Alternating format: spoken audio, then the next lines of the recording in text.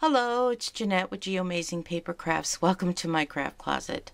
Today, I'm going to attempt to make a stamp positioner. Yep, a do-it-yourself stamp positioner. Now, there's some stamp positioners on the um, on the market today. One of them is my, you know, the Fiskars with the little sponges here and I and I did uh, make an attempt to try to make one, but Fiskars has a really, really thin plastic and it wobbles all over the place and I still needed to make something that would um, stabilize it so that every stamp, when I was doing multiple cards, everything would be exactly in the same spot. So I'm going to be using the Stampin' Up! Block F, which measures uh, 4 and 7 eighths by 6 inches. So that's this block right here. It's the real thick acrylic block. I love this thing. Anyway, and then you're going to need some fast fuse. You're also going to need some uh, snail adhesive, some scissors, your bone folder, your paper snips, and what you're also going to need is a little makeup sponge. Mm -hmm. Um, this is just some uh, adhesive foam board, uh, just a really thin piece here, and now you you know you get these all the time in, in the big sheets because Stampin' Up! always includes some kind of uh, piece of chipboard. Well, this is going to be our base here. So I have cut this down to uh, measure 8 inches by 7 inches, okay? And what you're going to do is you're going to take your Stampin' Trimmer. Now you don't want to do this on your Simply scoreboard because it's just, uh, uh, uh, it'll be easier for you to position this um, and, and make your scores using this uh, uh, Stampin' Trimmer. So I'm just going to use my score blade and I'm going to score one inch all the way around.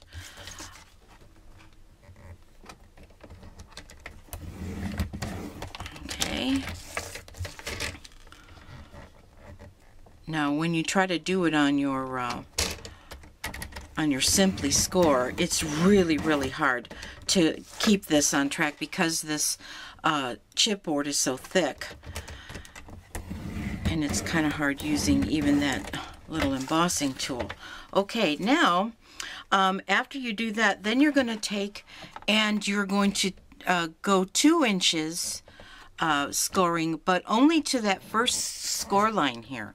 So take your score and uh, your scoring tool and just score there. Now that's just a mark because you're going to be cutting there. Okay, go all the way around and do that. Doesn't have to be so perfect. Even if you've gone over the line, it's fine. It's just basically a mark because you will be cutting. There.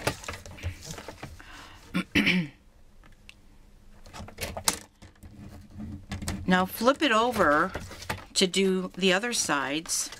I know, sounds kind of weird, but like I say, this is just a little mark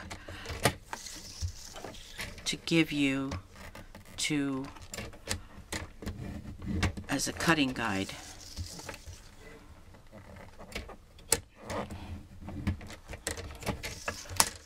One more. Okay. I know, you think this is really, really strange. Okay, I think we are pretty much done, except now you're going to want to cut.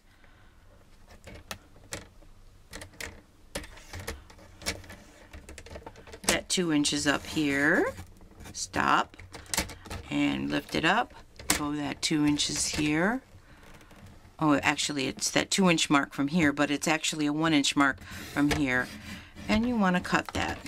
Okay, and you go go around and just cut that line, that second line that you made. Okay, and you'll see why you you're going to do it that way. All right, and don't worry too much if you've gone a little over. It's okay.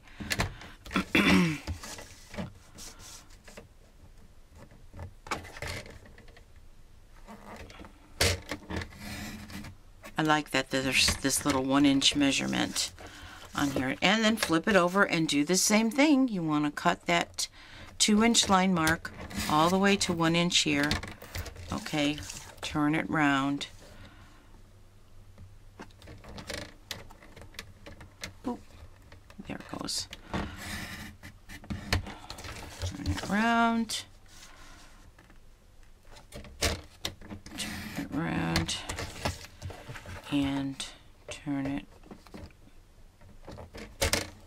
Come on. Turn it around. Okay. So now you got all these little flaps here. You want to cut those flaps off. So line up that score line here and go to your two inch mark on this one here and score all the way or cut all the way down to the six inch mark that's here. Okay, and you want to cut that off. And just try to be as careful as you can. Um, I'm not that neat. So I'm going to go from, on this one, I'm going to go from the 2 inch to the 5 inch and cut that off. Okay. Now if you want to do this with your scissors, that's fine. Um, it's a little, it's a little hard for me to do, to do it with my scissors, or it was. Six, okay. It's gonna look like a great big fat eye when you're done with it letter I, that is. Okay, there it is. Now, now you want to fold your score lines. Okay, you can take, I'm putting this away now. Um, take your, no, don't throw these away. You're going to need these as spacers, okay? And you'll see what I mean when we get to that point. Um, with your, um, with your bone folder, I guess you could do it You don't really have to. It's because it's kind of tough to do this part here. All right. Now, it's going to seem like it's cracking, but that's okay. Now, um, I cut it. Let's see which way. I guess this is going to be okay. I have to cut this here and I'll just reinforce that. Now you don't want to put this in, in here like that. You will want to put this so you can make a smooth corner here and this on the outside. And you'll be using fuse to do that. But let me go and cut up all these lines here. Okay. Turning around, cutting up like that. Okay, so we're putting fuse right here on this one.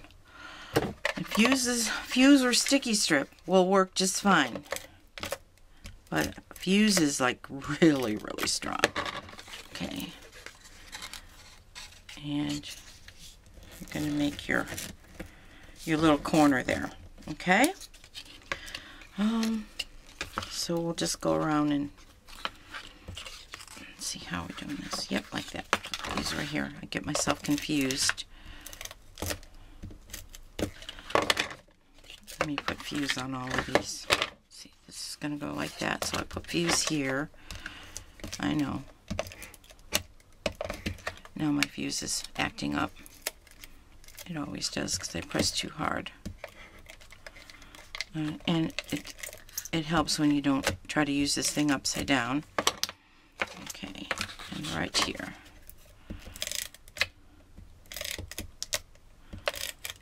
Very good. Now, our little corners here. Now you don't really need all four corners. In fact, I'm going to cut one of these corners off. This one here. You know, you think I'm nuts. I just put fuse on it. you don't need all four corners. Let's just go with three. Three corners. You're going to see why. You only need three. All right, here goes. Now, this is going to fit right in here because you measured it right. Now, this is going to take this the, the place of, uh, of, of like your, um, uh, your piercing mat when you, when you stamp. This works really good. So let's put this in here and see how it fits. If it's a little bit loose, this is where you're going to use your little spacers here. Fold them in half.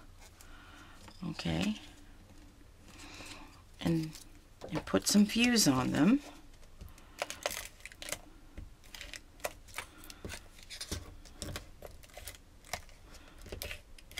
Come on. Bear with me here. And that's going to work as a spacer here. Because you don't want a real tight, tight fit but you also don't want it to um, to be too loose either. So um, two spacers will probably work just fine.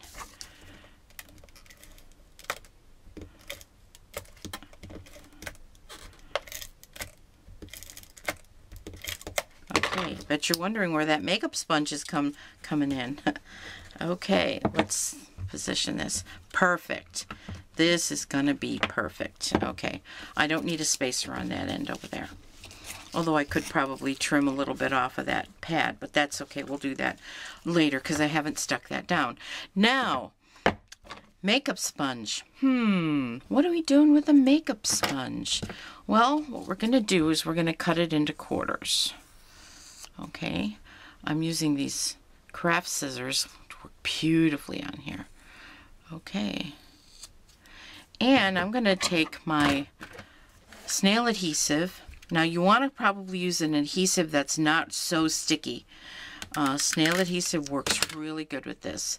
And I'm going to place it in this corner right here with the snail adhesive on it. Now this is just for positioning and then I'm going to put my block in there. Okay, and you're going to do that for all four corners. Okay, if you try to if you if you try to uh, position them, uh, you know, without putting them in the corner, you might have a little bit of a hard time. I found that this way is a little easier for me.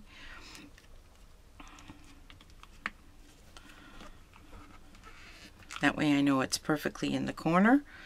And use that other corner. Okay. Here.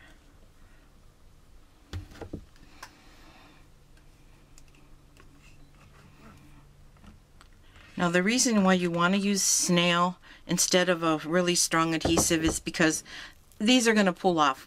You're not going to always want these on here. So they'll pull off a lot easier um, if you use the snail adhesive. And if you if you use anything stronger, mm, it's you're going to have a hard time pulling these little spongy things off. Now see, you've got yourself a nice stamp positioner. Isn't that wonderful?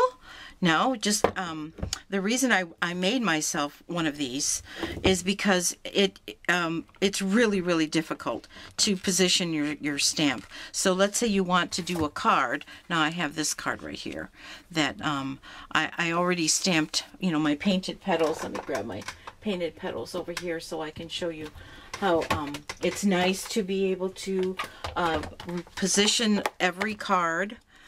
Okay, Line this up here. All right. That will go there. That will go there. Now you're going to pick up your, see, and then you'll ink it. Let's see what color we're going to ink it in yellow, okay? Because that was the first one on top. All right. Now I want to make several yellows, or even if I want to switch colors, now I've got my positioner. There it is. Now, of course, I didn't really position it right, so that means that every single card that I do is going to be wrong. But you get the picture. You want to make sure you position it right the first time. And then every stamp is going to be right. So you can do several cards at a time. Just put it in the corner there.